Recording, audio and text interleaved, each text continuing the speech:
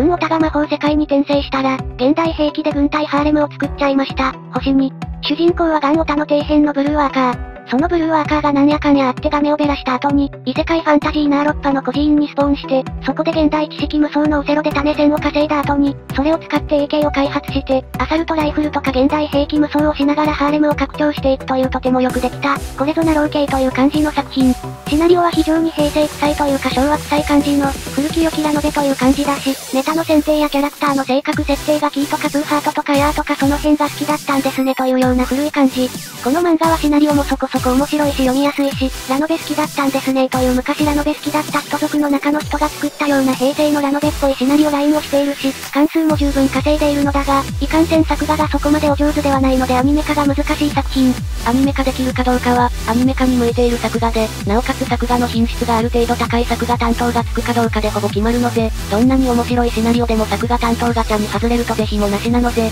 まあでも、原作でアニメ化しそうだな。でポテンシャルの高そうな原作に初よつよの作画担当がつきやすいのでそういう意味では原作から頑張りましょうって部分はあると思われるんだけどね。この漫画がつまらないと言いたいわけじゃなくて、うちらおまんじゅうの独断スカウターではギリアニメ化いけるか？という品質は持っているので。それだけは真実を伝えたかった。ためになった、面白かったと思ってくださったらチャンネル登録よろしくお願いします。